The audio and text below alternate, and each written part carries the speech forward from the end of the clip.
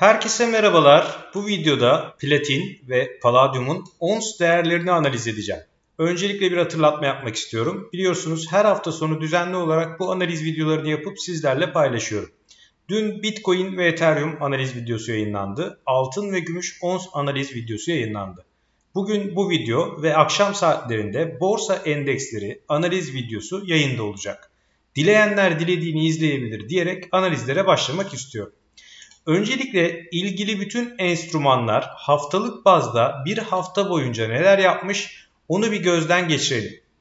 Dolar endeksi geçen hafta hafta boyunca %3.08 değer kazanmış.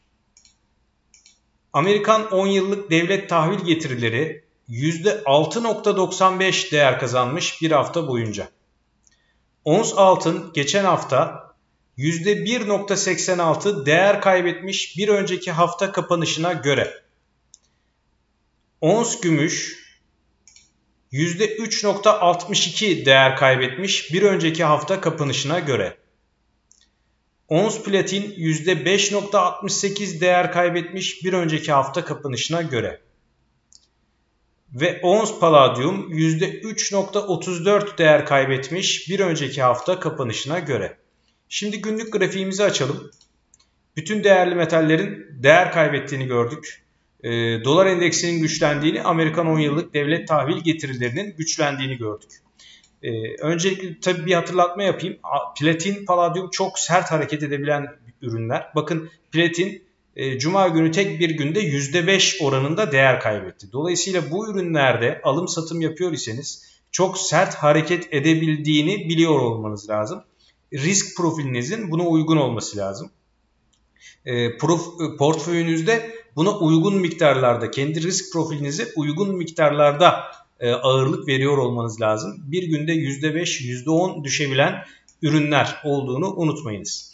E, şimdi platinde uzun zamandır bir düşüş hareketi içerisindeyiz ve düşüş trendinin devam etmesini bekliyoruz. E, Enflasyonla mücadele kapsamında merkez bankalarının faiz arttırması nedeniyle ekonominin soğuması ve bu tarz endüstriyel metallere de ihtiyacın azalması, e, arz talep dengesinin değişmesi nedeniyle fiyatlarının düşmesi gayet normaldir, olağandır.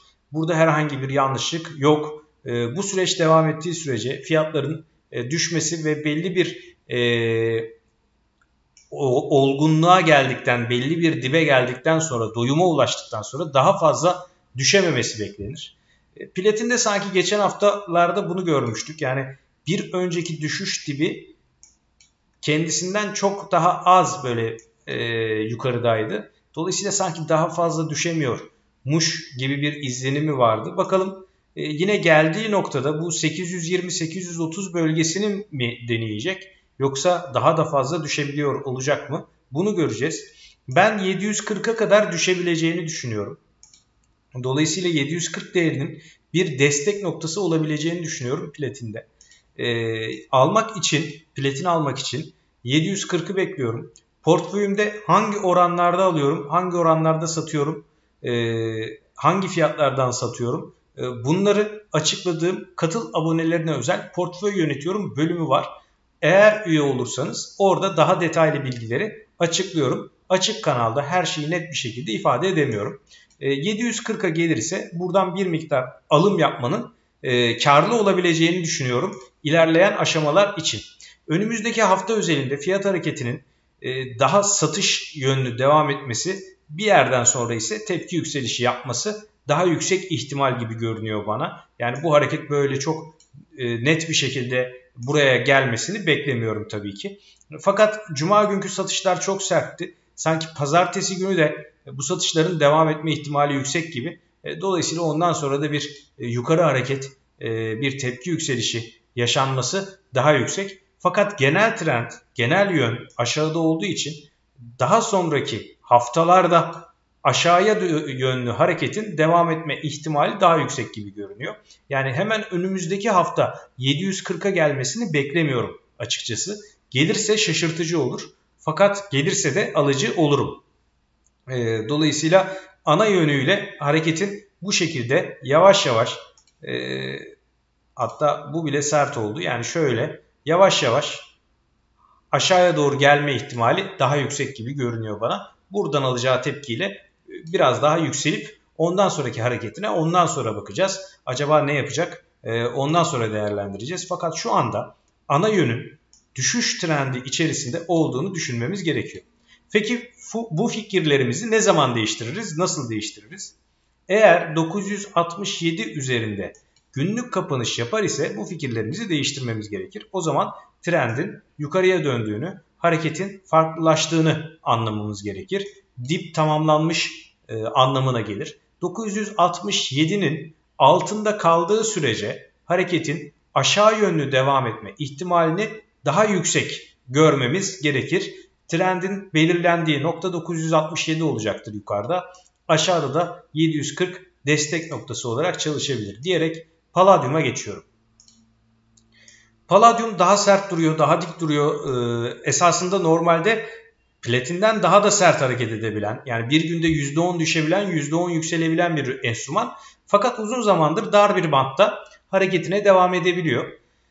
Ee, biz bir bölü bir Gann fan çizgimizle Palladium'u takip ediyoruz. Dolayısıyla trend değişim sinyalinin 2310 olduğunu belirtmiştim geçen haftalarda.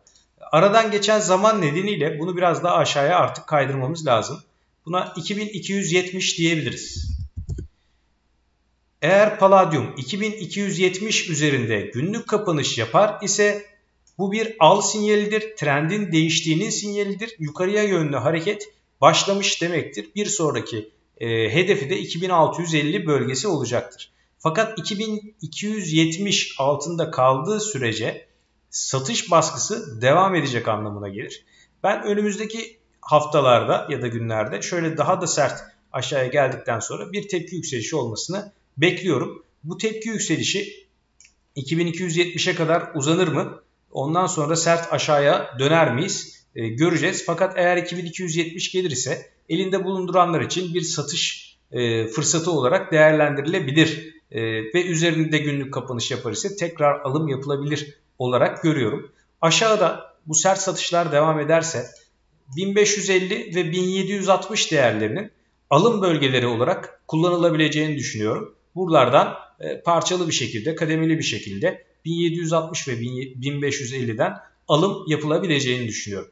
Umarım faydalı olur. Önümüzdeki hafta görüşmek üzere. Hepinize bol kazançlar diliyorum.